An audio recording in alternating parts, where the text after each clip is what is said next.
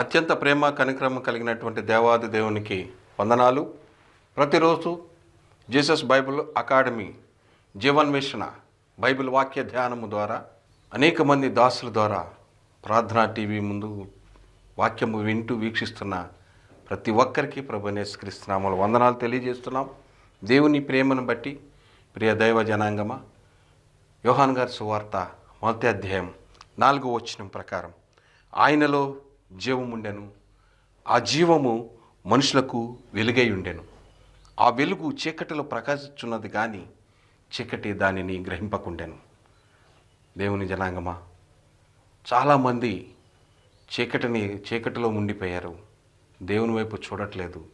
వెలుగు వారి మీద ప్రకాశించనీయకుండా వారే అడ్డుగా ఉన్నారు. అందుకని యశగ్రంథం యాభై తొమ్మిదవ అధ్యాయం మొదటి వచనంలో చెప్తుంది రక్షింపనేరకుండునట్లు ఆయన హస్తము కూర్చకాలేదు.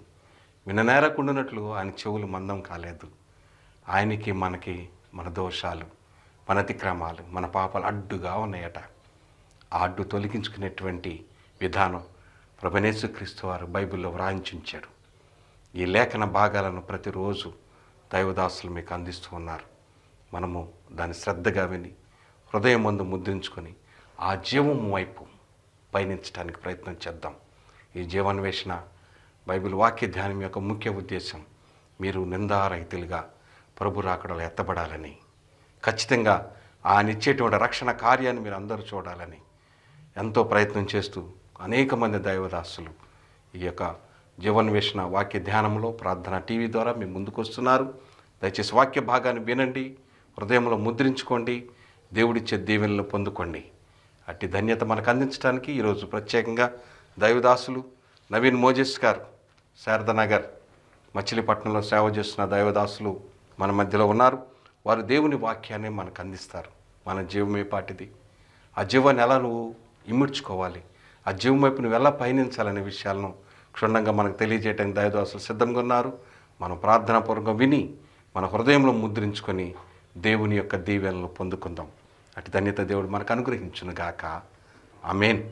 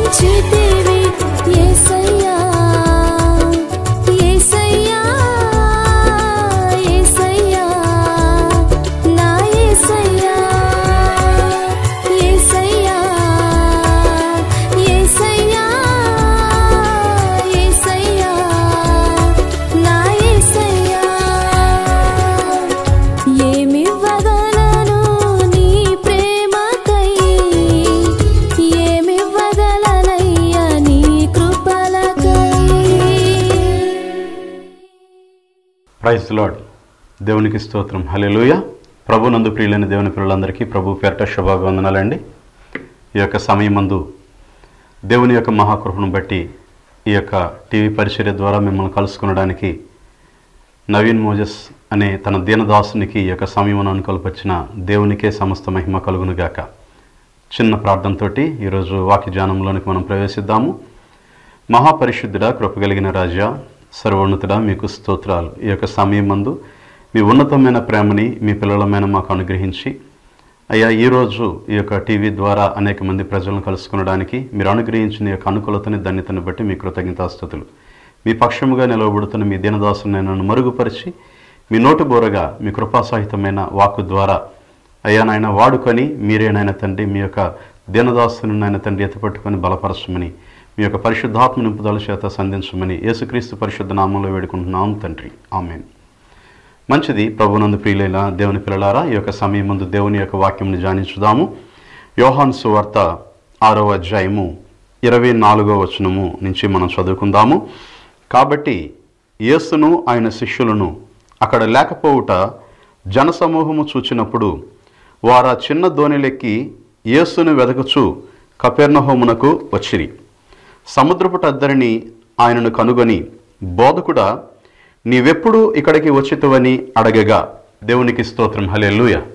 ఒకనొక స్థలములోని ఏసయ్య సువార్తను ప్రకటించి అటు పిమ్మట మరొక ప్రాంతమునికి వెళ్ళినప్పుడు ఏసైని వెతుకుచ్చు అనేక మంది జన సమూహములుగా వచ్చి ఉన్నారంట. ముందు రోజు చూసిన చోట ఏసయ్య కానీ ఆయన శిష్యులు కానీ కనబడకపోయేసరికి యేసుని వెతుక్కుంటూ కూడా వారు ఒక గ్రామం నుంచి మరొక గ్రామమునికి ఒక ప్రాంతం నుంచి మరొక ప్రాంతమునికి ప్రయాణం చేసి మరీ వచ్చినట్లుగా చూస్తున్నాం. నిజంగా ఎంత ఆసక్తిగా వచ్చి ఉన్నారో కదా?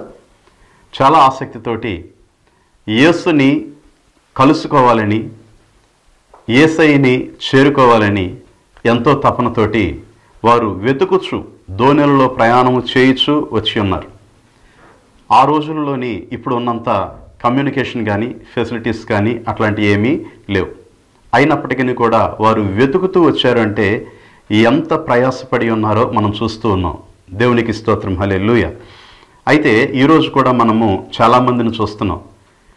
అనేక ప్రాంతాలు అనేకమైన చర్చలు అనేక మంది దైవ సేవకులు అనేకమైన పరిచర్యలు మీటింగ్స్ పెడితే మీటింగ్స్లోనే అనేక మంది విశ్వాసులు కనబడుతూ ఉన్నారు. ప్రతి చర్చిలోని విశ్వాసులు కనబడుతూ ఉన్నారు. అనేక మంది క్రైస్తవులము మేము దేవుని నమ్ముకున్నాము దేవుని బిడ్డలమని చెప్పని చెప్తూ ఉన్నారు. నిజమే చాలా సంతోషకరమైన సంగతి. దేవునికి స్తోత్రం హలేలుయ అయితే ఈ యొక్క సమయం మందు ఈ యొక్క సంగతిలో నుంచి మనం ఒక విషయాన్ని ధ్యానించుకుందాం అదేమని అంటే ఏసై వద్దకు వచ్చుచున్న నీవు ఏ గుంపులో ఉన్నావు? ఏసై దగ్గరికి వచ్చుచున్న నీవు ఏ స్థితిలో ఉన్నావు? అన్న సంగతిని మనం ధ్యానించుకుందాం పిలవబడిన వారు అనేకులు కానీ ఏర్పరచబడిన వారు మాత్రము కొందరే అని చెప్పిన ప్రభు చెప్తూ ఉన్నారు. ఇక్కడ మనము ఏ గుంపులో ఉన్నామో అన్న దానిని గురించి ఈ పూట ధ్యానం చేసుకుందాము. ఇక్కడ చూసినట్లయితే మనం చదివిన లేఖన భాగంలోని సముద్రపు అద్దరిని ఆయనను కనుగొని బోధకుడా నీవెప్పుడు ఇక్కడికి వచ్చితవని ఆయనను అడుగుతూ ఉన్నారు ఆశతోటి శ్రద్ధతోటి ఆనందముతోటి సంతోషముతోటి ఏసైని అడిగితే ఏసయ్య అక్కడ వారితోటి ఒక మాట చెప్తూ ఉన్నాడు. మీరు సూచనలను చూచుట వలన కాదు కానీ రొట్టెను భుజించి తృప్తి పొందుట వలననే నన్ను వెతుకుచున్నారని మీతో నిశ్చయముగా చెప్పుచున్నాను అని చెప్పిన ప్రభు చెప్తున్నారు. వారు నిన్ను కలుసుకోవడం మాకు సంతోషము అని చెప్పినంటే మీరు వచ్చుచున్న మీ యొక్క హృదయంలో ఉన్న స్థితి నాకు నచ్చలేదు అని చెప్పిన ఏసై చెప్తున్నాడు. ఈరోజు దేవుని సన్నిధానంకి వస్తున్న మనము ఏసైకి ఇష్టమైన పిల్లలుగా ఆయనకి అంగీకారయోగ్యమైన వారముగా ఉన్నామా? ప్రాముఖ్యంగా దేవుడు నాకు ఇచ్చిన ఆ యొక్క తలంపును బట్టి నేడు దేవుని సన్నిధికి వస్తూ ఉన్న వారిని నాలుగు రకాలుగా మనము విభాగించుకోవచ్చును. అనేక మంది వస్తూ ఉన్నారు దేవుని మందిరానికి లేదా దేవుని సన్నిధికి దేవుని యొక్క వాక్యము వినడానికి. వస్తూ ఉన్నారు వెళ్తూ ఉన్నారు. పాతకాలంలోని పెద్దలు అనేవాళ్ళు తిక్కలోడు తిరునాళ్ళకి వెళ్తే ఎక్కాదిగా సరిపోయిందని చెప్పినని. అట్లాగే దేవుని మందిరానికి ఎందుకు వస్తున్నారు అని చెప్పినానంటే మా అమ్మ నాన్న రమ్మన్నారని వస్తున్నాము. దేవుని సన్నిధిలో బాప్తిజం తీసుకుంటేనే నేను నచ్చిన నేను ఇష్టపడిన పిల్లనిచ్చి పెళ్ళి చేస్తా అన్నారని చెప్పిన దేవుని మందిరానికి వస్తున్నాము. లేకపోతే దేవుని సన్నిధికి వస్తే మరొకటి ఏదో మరొకటి ఏదో అని చెప్పినని ఇట్లా రకరకాలుగా వచ్చున్న వాళ్ళు అనేకులు ఉన్నారు కానీ వాళ్ళు ఎందుకు వస్తున్నారో వాళ్ళు ఎందుకు వెళ్తున్నారో వాళ్ళకే తెలియని పరిస్థితి. చాలామంది పరిస్థితి ఎట్లాగా ఉంది అంటే దేవుని యొక్క మందిర ఆవరణములోనికి వచ్చి అటెండెన్స్ వేయించుకొని వెళ్ళిపోతే చాలు. పాస్టర్ గారికి కనబడి వెళ్ళిపోతే చాలు. దేవుని సన్నిధానంలో కూసేపు ఉండి వెళ్ళిపోతే చాలు అనే మనసుతోటి వస్తూ ఉన్నారు. ఆనాడు కూడా ఏసఐ దగ్గరికి వచ్చిన గుంపులోని ఏసఐను చూడడానికి మాత్రమే వచ్చిన వారు అనేకులు ఉన్నారండి. ఏసైను చూడడానికే వచ్చిన వాళ్ళు అనేక మంది ఉన్నారు. వారు వస్తూ ఉన్నారు ఏసైను చూస్తూ ఉన్నారు వెళుతూ ఉన్నారు.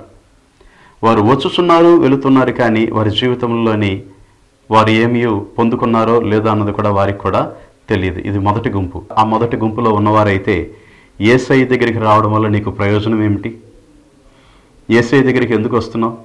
ఏసై దగ్గరికి వస్తున్న నీవు ఏసైను చూసి లేదా దేవుని యొక్క వాక్యమును విని లేదా పాటలు పాడుతుంటే వాటిని ఆలకించి నువ్వు వెళ్ళిపోతూ ఉన్నట్లయితే నువ్వు ఎందుకు వస్తున్నావో నీకే తెలియదు.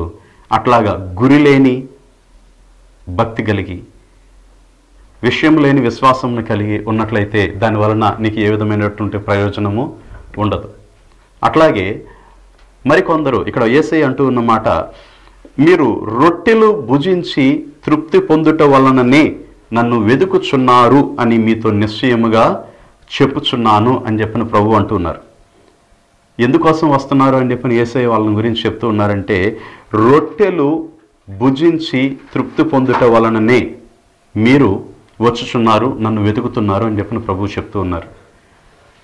ప్రియులైన దేవుని పిల్లలారా ఈ యొక్క సమయమందు ఈ యొక్క గుంపు ఎవరో అని చెప్పినానంటే దేవుని సన్నిధికి ఎందుకు వస్తున్నావు అని చెప్పినానంటే ఆశీర్వాదాలు పొందడానికి వస్తున్నానని చెప్పిన అనేవారు. దేవుని సన్నిధికి వస్తా ఎందుకు వస్తున్నావు అంటే దేవుని దగ్గరికి వస్తే దేవుడు దీవిస్తాడు అని చెప్పిన వచ్చేవారు. దేవుని దగ్గరికి రావడానికి గల కారణం ఏంటి అంటే నా జబ్బు తొగుతుందని నా రోగం పోతుందని నాకు కలిసి వస్తుందని నాకు ఆశీర్వాదం వస్తుందని నేను చేయించిన పనుల్లో దేవుడి దీవెన ఉంటుందని ఇట్లాగా కేవలము దీవెనలు ఆశీర్వాదముల కోసం మాత్రమే వచ్చుచున్నవారు వారు అనేకులు ఉన్నారు భక్తుడైన యోబు గారు అంటారు కదా దేవుని వలన మేలు అనుభవించుట తగినది కానీ దేవుని వలన శ్రమ వస్తే కీడు కలిగితే దాన్ని అనుభవించమా? దేవునికి ఇవ్వడం ఇష్టమైంది అప్పుడు తీసుకున్నాము. ఇప్పుడు తీసివేయడం ఇష్టమైతే దానిని అంగీకరించలేమా? అని చెప్పిన అంటున్నాడు. అంటే యోబు గారి మనసులోని దేవుడిచ్చే దీవెనలకి అంత ప్రాముఖ్యత లేదు. దేవునికి స్తోత్రం. హలే నేటి దినములలో చాలామంది ఆశీర్వాదాల కోసం ఆరాటపడే భక్తులను మనం చూస్తూ ఉన్నాం. ఒకవేళ ఆ గుంపులో నువ్వు కూడా ఉన్నావేమో ప్రియులైన దేవుని పిల్లలారా ఒకవేళ ఆ గుంపులో ఉన్నట్లయితే ఇప్పుడే దేవుని వాక్యాన్ని జాగ్రత్తగా గమనించు. ప్రభు అంటున్నారు మీరు రొట్టెలు భుజించి తృప్తి పొందుట వలననే నన్ను వెతుకుచున్నారు అని మీతో నిశ్చయంగా చెప్పుచున్నాను. అంటే ప్రభువు మనసు అక్కడ ఎంత బాధపడుతూ ఉన్నదో. ప్రభువు వారిని బట్టి సంతోషించట్లేదు. వారిని బట్టి ప్రభువుకు ఆనందం కలగట్లేదు. రొట్టెల కోసము అనగా దీవెనల కోసము ఆశీర్వాదాల కోసము అద్భుతాల కోసము సూచిక్రియల కోసము వచ్చేవారి విషయంలోని దేవునికి సంతోషం కలగట్లేదని చెప్పనని ఏసయ్య సూటిగా చెప్తూ ఉన్నారు. ఈరోజు నువ్వు దేవుని సన్నిధికి వస్తున్నావు. మంచిదే సంతోషము. వచ్చుచున్న నీవు మొదటిలోని రొట్టెముక్కు కోసం వచ్చి ఉండవచ్చునేమో. కానీ వచ్చుచూ ఉన్న నీవు రొట్టె ముక్క దగ్గరే ఆగిపోయినట్లయితే దానివల్ల ప్రయోజనము లేదు. నిన్ను బట్టి దేవునికి సంతోషము కలగదు. దీవెనలు ఆశీర్వాదములు దేవుడు నీకు ఇవ్వాలి అని చెప్పి నిశ్చయించినప్పుడు దానిని ఎవరనూ ఆపలేరు. వాక్యం చెప్తుంది కదా ఒకరిని దేవుడు దీవించగా దానిని తప్పించగలిగిన వాడు ఎవడు? ఆయన నిన్ను హెచ్చించాలి అని చెప్పనని నిర్ణయించిన ఎడల నిన్ను తగ్గించుటకు ఎవరు సరిపోతారు ఈ లోకంలో? దేవుని దీవెన అది ఆయన చేతిలో ఉన్నది. ఆయనకి ఎవరికి ఏ స్థాయిలో ఏ రీతిగా ఇవ్వాలి అని చెప్పిన ఆయన అనుకుంటారో వాళ్ళకి సమృద్ధిగా ఇస్తాడు. దాన్ని ప్రత్యేకంగా దానికోసం మనం వెంపర్లాడాల్సిన అవసరము లేదు. నీవు ఆయన సన్నిధికి రా. మొదటి గుంపు కేవలం దేవుని సన్నిధికి వచ్చి కనబడి వెళ్ళిపోయేవాళ్ళు. వాళ్ళకి ప్రయోజనం లేదు. రెండో గుంపు దేవుని సన్నిధికి వస్తున్నారు. రొట్టెలని భుజించి తృప్తి చెందడానికి అని చెప్పని వస్తున్నారు. అట్లాగే మూడో గుంపు ఏసైని వెంబడించే గుంపు. ఈ ఏసైని వెంబడించే గుంపు ఎవరో అని చెప్పినానంటే వీరు రొట్టెల కోసం అనగా దీవెనల కోసం ఆశీర్వాదముల కోసం కాదు ఏసయ్య వాక్యాన్ని విని వాక్యానుసారముగా ప్రవర్తిస్తూ ఉన్నవారిగా ఉన్నారు. ఏసయ్య వాక్యానుసారముగా ఉండడానికి పవిత్రముగా ఉండడానికి పరిశుద్ధముగా ఉండడానికి యేసును సొంత రక్షకునిగా అంగీకరించి ఆయన యొక్క వాక్య ప్రకారంగా జీవిస్తూ దేవుని యొక్క మహిమ కొరకు వారు జీవిస్తూ క్రమముగా సక్రమంగా ఆజ్ఞలను కట్టడలను పాటిస్తూ జీవించేవారిగా ఉన్నారు. కానీ వీరిలోనూ కూడా కొంత లోపం ఉంది. అది ఏమని అని చెప్పినానంటే ఏసయ్య కోసము వీరు నమ్మకంగానే జీవిస్తున్నారు కానీ ఏసయ్య కోసం త్యాగం చేయవలసిన పరిస్థితి వస్తే మాత్రము ఏసయ్య కోసం కష్టపడాల్సిన పరిస్థితి వస్తే మాత్రము ఏసయ్య కోసము నష్టపడాల్సిన పరిస్థితి వస్తే మాత్రము వెనకడుగు వేసేవారిలాగా ఉన్నారు. ఏసయ్య దగ్గరికి ఒక యవనస్తుడు వచ్చాడు. వచ్చి అంటున్నాడు అయ్యా నిత్య జీవం పొందాలంటే నేనేం చేయాలి? ఏ మంచి పని చేయాలంటే మంచి పని నువ్వే చెప్తున్నావుగా మంచి పనులు అన్నీ చేయి అని చెప్పినానంటే అక్కడ కొన్ని చెప్పబడిన అక్కడ అంటాడు కదా యవనస్తుడు అయ్యా నా చిన్ననాటి నుండి వీటినన్నిటిని చేస్తూనే వస్తున్నానంటే ఏసై అంటాడు నీకున్న ఆస్తినంతటిని అమ్మి బేదలకు ఇచ్చివేసి నన్ను వెంబడించు అన్నప్పుడు అతడు మిక్కిలి ఆస్తిపరుడు గనుక వ్యసనపడొచ్చు వెనకకి వెళ్ళిపోయాను అని చెప్పనుంది. అంటే ఏసఐ కోసం త్యాగం చేయాల్సిన పరిస్థితి వస్తే అతడు సిద్ధపడలేకపోతున్నాడు. అట్లాగే ఈ మూడో గుంపులో నువ్వు ఉన్నట్లయితే మంచిగా భక్తిగా బ్రతుకుతున్నావు సంతోషం కానీ భక్తిగా బ్రతుకుతున్న నీవు ఏసఐ కోసము శక్తి కలిగిన విశ్వాసిగా జీవించు.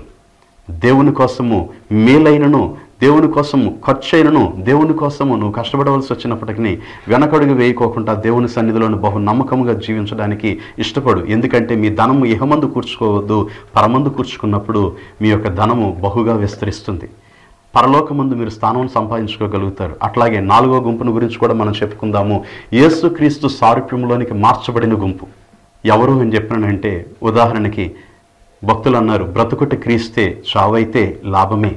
దేవుని కోసం బ్రతుకుతాము దేవుని కోసం మరణిస్తామని చెప్పండి అపోస్తులు అంటూ ఉన్నారు కదా ఆయన నామము నిమిత్తము శిక్షింపబడ్డానికి మనల్ని యోగ్యులుగా అర్హులుగా ఎంచారు అని చెప్పని సంతోషించారు పేతురు యోహాన్ యాకోబులు. అట్లాగే పరిశుద్ధ గ్రంథమందు ఆయన నామమును భరించడానికి సిద్ధపడిన విశ్వాసులు ఆనాటి కాలంలోని ఈనాటి కాలంలోని కూడా అనేక మంది ఉన్నారు. నీవు ఏసయ్య మాదిరిలోని నువ్వు నడుచుదువుగాక. ఎందుకు అని చెప్పినానంటే క్రీస్తు మహిమ లోకములో ఉన్న మహిమాన్వితుడైన దేవాతి దేవుడు మట్టి పురుగులమైన మన కోసం ఆ మహిమ లోకాన్ని విడిచి భూమి మీదకు వచ్చి ఉన్నాడు. భూమి మీదకి వచ్చి మట్టి పురుగు వంటి మనతో పాటు ఆయన కూడా ఈ మట్టిలోని జీవించాడు.